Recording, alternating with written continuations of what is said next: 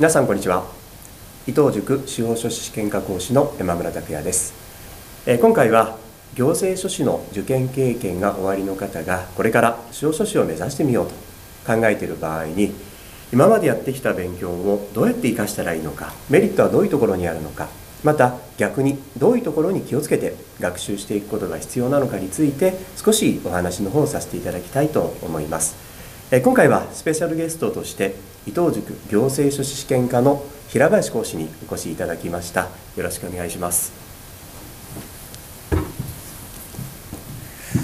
皆さんこんにちは。伊藤塾行政書士試験科講師の平林です。どうぞよろしくお願いいたします。よろしくお願いしますえー平林講師は、えー行政書士試験科の講師として、えー若手実力派講師ですね。バリバリと、えー講師の仕事をこなしながら実は、えー伊藤塾の山村クラスで司法書士の勉強もされて今年2017年に、えー見事最終合格を果たされました。おめでとうございます。ありがとうございます。えー今回はその平林講師の行政書士試験に対するノウハウと、まあ、直近合格者としてのこの司法書士の、えーノウハウまた私がもう十数年講師をさせていただいております。が司法書試験に対するノウハウこの全てを結集してこれから新しく司法書士を目指してみようとお考えの皆さんに、まあ、何か有益なアドバイスをくれたらというふうに思っておりましてお話をしていきます。よろしくお願いします。えーそれでは早速1つ目のところからの話なんですが試験科目についてまずお話をしていきたいと思います、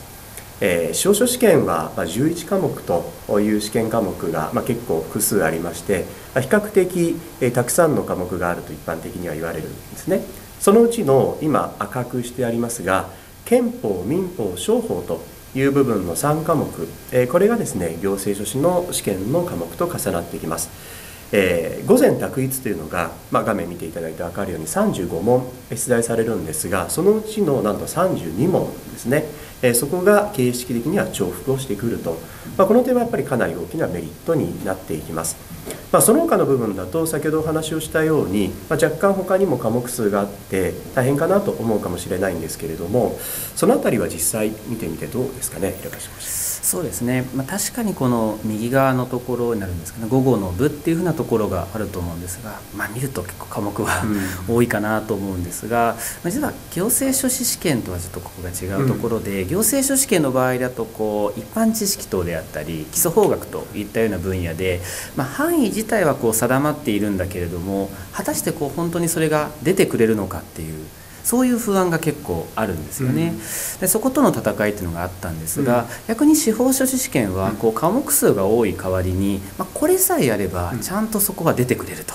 いう安心感があるので比較的出題が安定しているっていうふうに捉えていただいた方が僕はいいと思います。はい、そうですね確かに行政書士の受験生の話なんかを聞いたり、まあ、行政書士合格して司法書士の講座を受けられる方もたくさんいますがやっぱり行政書士の時にはその一般知識の部分が結構怖かった、ね、結構やっても出ないかもしれないと、はい。またそこにも基準点のがありましたもんね、はい。ですからそういうことを考えていくと、まあ、一見出題数は多いように見えますけれどもやっぱりやるべきこと、ね、しっかりやっていけばこれは十分攻略できる、ということなんですよね。ですね。でじゃあ一つずつ少し重なっている科目について見ていきたいと思うんですがまず憲法については平林講師どうでしょそうですね。憲法についてはもうかなり大きなアドバンテージがあるというふうに考えていただいていいと思います。特に人権なんかについては藩士の細かいところまで、まあ、行政書士の受験生で勉強してますからもうそのままそれは活かせますしあと統治機構については出題パターンや傾向もほとんど同じなんですよね。なので、まあ、少し司法書士試験向けにチューニングを図るくらいで、もう十分対策は取れるというふうに思います、う、注意点って逆にどうですかね？注意点としてはちょっと司法書士試験特有っていうんですかね、うん。学説問題っていうのが少し出ていて、そうですね。はい。うん。この辺りの対策がちょっと必要にはなってくるかなというところですね。うん。はいまさに今平林講師おっしゃったように、まあ、人権統治の部分に関してはもう行政書士の受験生の方はかなり勉強されてますから、まあ、それ自体本当に先ほど言ったチューニングの部分ですね。基本的にはそれで足りるんですよね、はい。ただ今出たところ、まあ、学説問題、まあ、この業界では推論問題と呼んだりすることもあるんですがやっぱり論点ですね。説の対立がある。そのところを問題として作ってくるっていうのが司法書試験では、まあ、若干特徴的なところです。えーこの数年、えー表からというかドカーンと一問そういうのが出てるわけではないんですけれども、まあ、今年平成29年の場合に関しては、こう足の一つとしていわゆる学説の話が出てきたりとかいうことがありますのでその点だけですかね気をつけていくっていうことになるかと思います。まあ、伊藤塾なんかの司法書士の、え、入門講座という中ではその学説についても必要最低限のところはやっていきますから、まあ、チューニングとあとは必要な点ということですね、まあ、それもこの講座の中でしっかりやっていけるので、まあ、十分これアドバンテージになる。ただ1点だけ気をつけていただきたいことがあるんですね。今平橋講師がもうこれ十分だよって話をしたんですね。でそうなった時に皆さんひょっとしたら今年平成29年の司法書試験の択一の問題をじゃあ解いてみてえこんな難しいじゃんと感じた方もいらっしゃるかと思うんです。実は試験には波がありまして平成29年の司法書試験の憲法というのは3問出てまあ、例年であれば大体3問なり2問なりっていうのを、ね、はい、はい、取っていくのが合格レベルなんですが今年は難易度がすごく高くてですね、えー、憲法に関しては、まあ、1問ぐらいしか取れなくても、はい、あの合格をされたっていう方は多々いたんですね。ですからちょっと難易度を見るときには、まあ、この過去数年間ぐらいの問題の憲法を解いてみていただいて今の話ですね、えー、聞いて納得をしていただけたらなと思います。まあ、まとめて言うとやっぱり憲法は総じてアドバンテージは大きいというところですよね。じゃ次に民法についてでありますけれどもどうでしょうか？そうですね。民法についてはまず問題の難易度そのものについてはあまり差がないっていうのが僕の印象ですね。なんとなく司法書士試験って民法がすごく大変だって印象あると思うんですけど、本当にそこに載っていますが相続であったり債権という分野についての問題の難易度自体は本当に同等レベルというふうに考えていいと思うんですがその2個目のところなんですよね。相続担保物件親族相続と上がってると思うんですがここの質出題範囲がとても差があるということで、うん、行政書試験の受験生あまりここ勉強しないんですね。そうですよね、はい、試験対策上ねは。い、というところがあるのでこの範囲の差っていうのをどれ程度埋めていくのかっていうのがもう課題になってくると思います。そうですよね。まあ、特に司法書試験では不動産登記に関わるところでもやっぱり物件担保物件の出題は多いです。例えば他の国家試験ほとんどそうだと思うんですけれども寝定当権なんていう分野どうですか、行政書士では。あもうパスっていう代表格 いうぐらいのところですよね、はい、そういうところのやっぱり範囲の、えー、試験のに応じての範囲の差が結構あるっていうことなんですね。逆に言うとやったところに関しては、まあ、同等レベルのもう知識を持っているというふうに考えていいわけですよね。まあ、ざっくりな話になるんですが例えば平橋講師は司法書士の試験にも合格して行政書士の講師もまずっとやってるんですが、はいえ行政書士の合格レベルの受験生にとっては、え司法書士の学習の、ま全体の範囲のどのぐらいまで達してるっていうふうに考えているですね。大体行政書士にこう合格されていった方が割と民法司法書士受けてみるっていう時に、大体やっぱ20問中ですよね、うん、20問中の12問くらいは、あの取れてくる方が結構多くて、僕もその印象が強いので、まあ、60%程度のもう力はあるというふうに考えていただいていいんだと思います。はい。まあ、民法はやっぱりこの司法書試験の中でも一番ボリュームがあるところで、まあ、そこでやっぱり60%ぐらいの到達度まで来てるっていうのはこれはかなり大きいですよね、はい、うんやっぱり初めて、まあ、学習されてもちろん1年で合格される方もいるんですがその方と比べてもこの一番大きい科目また不動産登記にもつながっていくこの科目で、まあ、少なくとも半分以上のところまではできているというのは、やっぱり今後の勉強全体を考えても大きなメリットになっていくというところはありますよね。じゃあその次なんですがちょっと肝心の商法のところですね、はい、なかなかどうでしょうかね。そうですね。もうここは科目の位置づけが異なるということがもう全てで司法書士試験の場合にはこれもメイン科目というふうに位置づけられていくんですが行政書士試験の場合はどうしても試験対策上はマイナーな科目に位置づけられてしまっているのでもうそもそもやってませんっていう方もいらっしゃいますし、まあ、やってるとしても設立株式、機関といったように少し範囲をこう絞った上で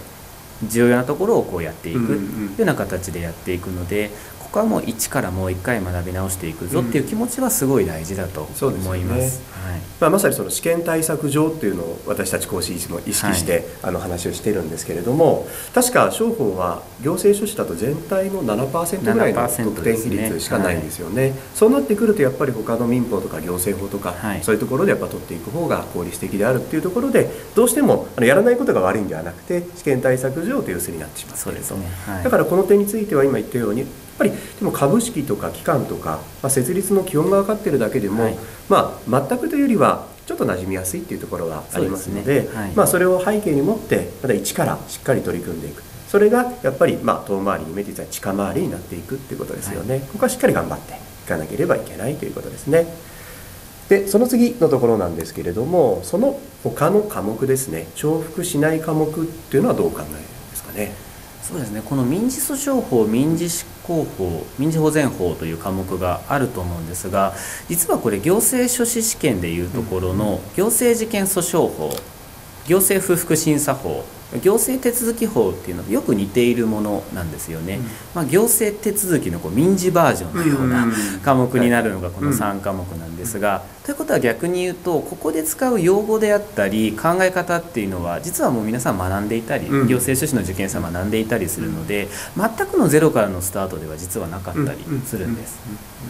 ここおすすめですね。はい、そうですね。じゃその他の科目の取り組みっていうのはどうですかね？その他のところは本当に初めからやっていくっていうふうなところはすごい大事だと思うんですけど、うん。うん、勉強の仕方を確立していることが本当に大きくてそうですね、どうしてもこう行政書士の受験生としてはこう細かい手続きを最後、もうとにかく詰めていく。はい。どこに何を出すんでしょうか、うん、何ヶ月以内でしょうか、ね、いうようなところまですごく細かいところまで丁寧に覚えていくっていうふうな勉強をしていくんですけども、うんその他の科目についてもほとんど同じなんですよね、うん、なのでそういう細かいことを覚えていくっていう経験がもう絶対に役に立つと思います、ね、今言ったそのどこにとか、えー、どれだけの期間内にとか数字とかですよね、はい、それところをやっぱりこうきちっと勉強してきた。でそれをしっかり積み上げてくる、まあ、まさに学習経験。これはものすごく大きいと思いますなかなかですねこういう試験受けていかないとそういうところを意識して覚えていく、はい、まあ、よく授業なんかでもお話しするんですけどこのご時世というかなかなかこう記憶をするってこともないですもんね、あそうですね。電話番号も覚えないですしね、はい、い。ろんなこともすぐ調べれば分かる、はい、ただ試験というのはそういうところをしっかり一個一個覚えていかないと、まあ、得点にはつながらない、えー、そこの、まあ、一個一個積み上げてきた経験というのはそのまんま生きるっていうことですよね。うん最後にあの一番最初のところにも一番右側に載せた科目なんですが司法書試験の記述式ってどう感じました？そうですね、まあ、最初は大変だなというふうには思ったんですがもう本当に実務でありそうな事案が挙げられるんですよね。いわゆる論文というわけではなく、うん、まあ、その事案を解決していく登記実際にやっていくという形になるんですが、うん、最初は本当に大変だな、本当に思いましたけれども、やっぱりここはもう山村先生の答案構成力ですね。もうこれにすごい助けられて。実はこれ解放っていうものがすごく確立しているところではあるんですよね。行政書士権の記述式ってなんとなくこう最後はやっぱりやってきたことにこう引きつけてとか、うん、択一式の問題から少し記述化を意識するんだっていうところで、まあ、決まった対策が実はあまりないのが現状なんですが、まあ、今お話しした通り司法書士権の場合にはもう答案構成力っていう確立した方法論が存在するので、それに基づいて取り組んでいけば、まあ、怖くはないなという印象です、今のところはそう思っています。はい、そうですか。まあ、なかなか記述式先ほどあの行政書士から、まあ、司法書士に転身されてくる方の話の中に、まあえー、一般教養の科目は行政書士にはあってちょっと嫌だったなとかいう中で今度逆に司法書士に対して感じるのがやっぱり怖いのはこの記述式ってどうなんですか？質問よく受けるんですけど、まあ、まずやっぱり論文式ではないということなんですね。長い文章をたくさん書いていくようなものではなくてきちっと答えがある答えがあるところにただ事案処理とかは若干複雑になりますからそれをどういうふうに問題として処理をしていくのかってやっぱり解放ですね。プロセス。これがすごく重要になります。で平林先生もおそらく今その話をしてくださったのは、私たちと一緒に勉強してくれて、まあ、一番最初の段階からその記述式の解き方を一緒にやっていって、はい、いわゆる解放というものを身につけていただいたんだと思うんですね。その点が、まあ、最初はなかなか大変で、まあ、すぐには書けるようにならないんですけど、はい、練習を積めば積むほどしっかり結果に結びついていく。まあ、そういう意味ではしっかりした方法論があるところで勉強していけば、まあ、これは不安を持つ必要は全くないんじゃないかなというふうに思ってます。あと1点なんですがこの記述式とかの勉強を含めてですね実は司法書試験というのは本当に実務に近いんですよね、ね、もちろん行政書士試験というのも実務家登用試験ですから、えー、かなり細かいことも聞かれてきますがただじゃあ行政書士に受かった時にすぐに許認可の申請がそのままできるかって言ったらちょっとなかなかそうですね、まあ、それに即応した勉強をまたしていくっていう形にはなります、ね、結構合格後に皆さん専門分野を決められて、はい、えー、建設だとか運輸だとかこうやられるわけですよね、はい、ただ司法書士の場合にはそれを考えるともうこれちょっと大きい例えになるんですが実務で例えば登記申請をするために必要な知識のもう7割ぐらいをこの試験の段階でマスターしてしまうまあ、そういう意味では、まあ、職業訓練をしているんだよなんて話をする時もあるんですね。そういう意味ではやった勉強とまた別のことをやらなきゃいけないわけではないので、ま、しっかりした勉強をしていくと実務にも大きく役立っていくと、ま、そういう科目になるのでぜひ積極的に取り組んで、え、まあこの方法論で得意にしていただければなと思います。で、え、最後になるんですけれどもやはり最大の強み。これは私とあの平橋講師がお話をしていた時にもうすぐに一致をした話だったんですけれども、まあ、ここについても画面に出てしまってるんですが、まあ、ちょっと平林講師からお話をしていただくとどういう。そうですね。もうここにある通りかなというとこなんですが、うん、もう資格試験の学習への取り組み方これ本当にでかいと思うんですよね。半年前からどういう勉強をしていくのかまた直前期どういうふうなスケジューリングを組んでいけばいいのかあとはどういう精神状態になっていくのかといったようなところはもうこれは変わらないと思うんですよね。でも多分ここについて、こういう時はこういうふうに対処していくんだ、うん、こういうスケジューリングでやっていけばいいんだっていったようなところがやっぱりできている。ということでこの学習への取り組み方、うん、辛くなった時にでも粘り抜いていくっていうこの精神力ですね。うんすね、これは何よりも変え難いアドバンテージだと僕は思います。もうおそらく私たちもともと、まあ、平林先生試験は合格されましたけれどもあの教える方としては専門としてはね行政書士と司法書士ということで2人でやってきてるんですが、もう全く考えは同じなんですね。やっぱりこの資格試験を通して一番重要なのは今ちょっと細かい話もいろいろしてきたんですけれどもそこに向かっていく姿勢なんですよね。この資格試験特有の考え方とかスキルノウハウそういうものを持っているっていうのがやっぱり一番の強みになってきますね、ね、なのでそれを生かしていくことができればこれは行政書士やってきたことがかなり大きなアドバンテージになって次の勉強へ生かしていくことができるんじゃないかなというふうに思います。まあ、そこに最後吹き出し出しましたけれども是非ね今までの学習経験生かして次ダブルライセンス目指してみようお考えの方がいたらチャレンジをしていただければなと思います。広林先生どうですか？新しくこれから司法書士を目指される方への、まあ、合格者としてのメッセージはどうでしょうそうですね。ここ難しいところなんですけど でも本当に行政書士試験合格して当然行政書士になるっていう方もいらっしゃると思うんですけど、まあ、司法書士どうかなってこう考えてる方もいらっしゃると思うんですね。でこれ絶対に勉強することはマイナスにならないです、やっぱこの司法書士っていう資格の勉強っていうことをやることによって登記であったり、うん、およそ民事実務全般についての勉強をすることができるので、うん。まあ、ちょっと迷っていて、どうしようかなっていうところであればもう絶対に無駄にならないので、うん、ぜひですね果敢にチャレンジをしてほしいなと僕自身は思います、はい、ありがとうございます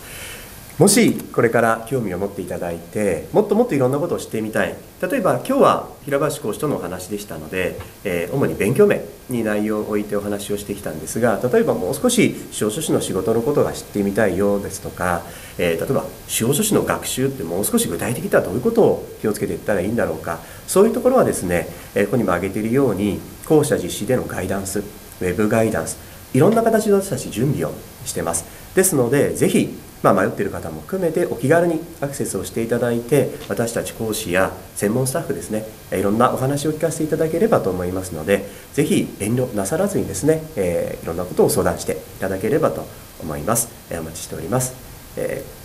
ー、今回はどうもありがとうございました。ありがとうございました。